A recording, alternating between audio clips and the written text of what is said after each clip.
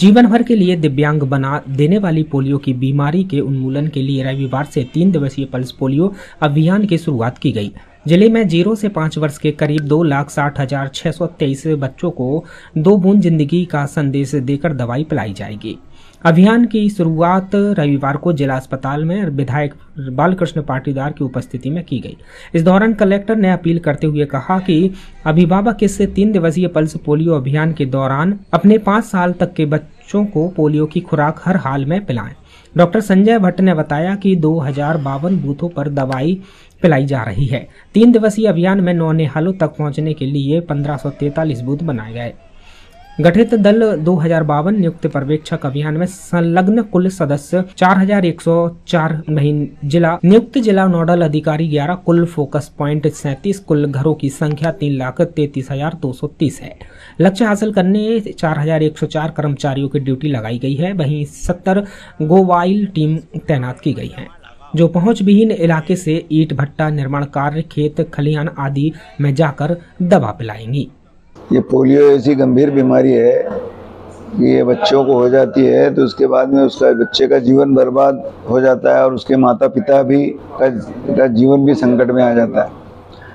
इसलिए इस पोलियो का अभियान अभियान का उद्देश्य यह है कि इसको हमारे भारत में से तो लगभग ये समाप्त हो चुका है लेकिन दुनिया के कई देशों में चल रहा है। तो इसलिए इसको विश्व से भगाना पोलियो को इसलिए ये अभियान है और इस अभियान में बच्चों को पोलियो की खुराक दी जा रही है ताकि ये बीमारी विश्व से समाप्त हो। सब लोग सुखी रहें, निरोगी रहें। इसलिए मैं सभी बच्चों के माता पिता को यही कहूँगा कि अपने बच्चों को ये पोलियो की दवा पिलाएँ, बच्चे का जीवन सुरक्षित करें और आप भी सुखमय जीवन जिए और एक संकल्प के साथ भारत से तो ये पोलियो लगभग समाप्त हो चुका है। लेकिन जैसे भारत में पहले चेचक को दुनिया से समाप्त किया, भारत से भी, दुनिया से भी, ऐसे ही ये पोलियो को भी सारे दुनिया से समाप्त करना है। इसलिए अपना, अपने दायित्व का निर्वहन करें इस अभियान में। आप सहयोग करें। धन्यवाद।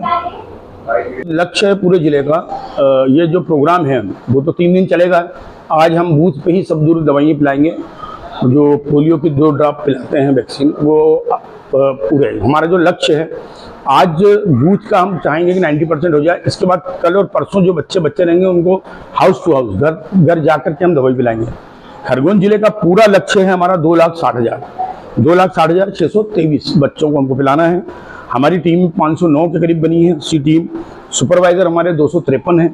और हमारे जो फोकल पॉइंट है, जहाँ से हम डिस्ट्रीब्यूट करते हैं मेडिसिन वैक्सीन, वो हमारे सैंतीस हैं और हमको टोटल जो हाउस हैं, वो तो तीन लाख तैंतीस हज़ार के करीब जो हैं, उनको कवर करना है, जिसमें हमको दो लाख साठ हज़ार छः सौ तेईस बच्चों को दवाई पिलाना है।